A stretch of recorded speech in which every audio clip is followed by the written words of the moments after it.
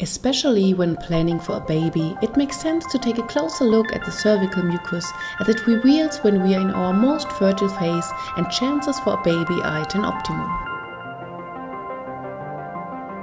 In the overlying gland, cervical mucus of varying quality is produced, which gives information about whether we are in our fertile phase or not. You simply take some mucus with the index finger and check, as shown in the graphs, if the mucus is rather creamy, watery or stretchy.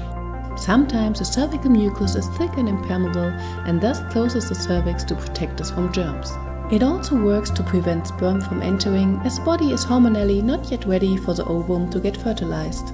On the other hand, when our body is ready for conception, the cervical mucus is more fluid and even sugary in order to protect, filter, nourish and direct sperm. Glands at the base of the cervix usually produce this type of mucus after menstruation and after ovulation has taken place.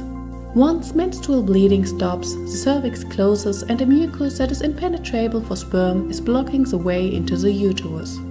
Male sperm cannot withstand this acidic vaginal environment and thus survival is a maximum of 3 hours.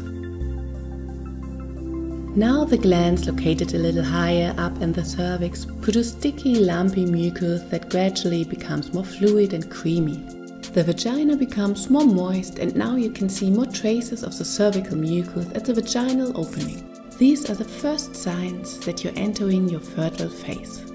It is still difficult for the sperm to move rapidly, but they can now protect themselves from the acidic vaginal environment, even if only for a short time. A few days before ovulation, estrogen mucus is produced, which is stretchy and fluid, often even spinnable, very similar to raw egg white or even more watery. This mucus protects, filters, nourishes and transports the sperm and the sugar contained in it luring them into the cervix. The sperm can survive here for 3 to a maximum of 5 days. This is now the best time to be intimate if you're planning for a baby.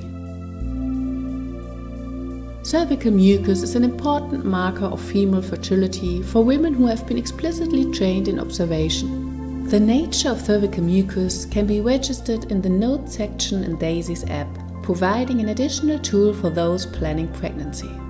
Even women who are trained are often unsure about the correct interpretation of their cervical mucus. The Daysy algorithm does not allow for these personal notes to be included in the fertility calculations. Daysy is a device that is designed to be used independently, without the need for additional education.